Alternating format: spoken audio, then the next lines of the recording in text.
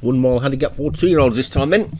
And Ascot 0 to 110. Top one is ninth configuration Leon Van Rensburg, Lisboa, Darren Thompson, Spangler, Davy Ladd, Terminator, Paul O'Neill, Mortified, Paul Rhodes, Zeitneater, Andy Morgan, Quantity Surveyor, Hems, Capity Island, C. Beckwith, Rider on a Storm, Joshua Sutherland, Lipu Crest, Vinnie Gerard, Mazarine Blue, Derek Hinton, Storming Pete, Alex Cherry, Gerber, Martin Liederman, Ophelia's Kiss, Obi-Wan. Uh, 14 then. Quietly in the gate.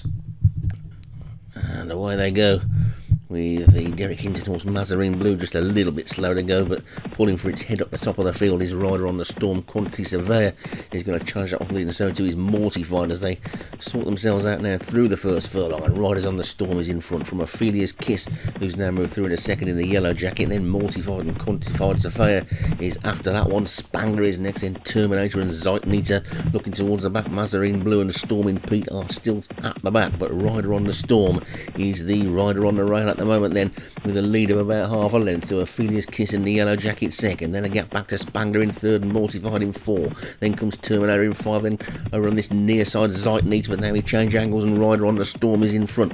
Rider on the Storm now leads by a good couple of lengths to Ophelia's Kiss run on the road up the centre of the track, then Spangler back on the rail, Quantity Surveyor is next, tucked in behind them is Mortified, right over on the far side, Terminator is behind Zeitneater with also the ninth configuration trying to get into it as well now then, but it's Rider on the Storm with three furlongs to go in the lead from Quantity Surveyor who's gone into second. Ophelia's Kiss now being pushed along. Then Spangler and Zeitneater, Terminator and Mortified. The Lipu Crest trying to get going as well. But they've got to get to this Rider on the Storm who's clear by a couple of lengths. The one who's now throwing down a big challenge is Mortified. But it's Rider on the Storm in the lead. Furlong and a half to go.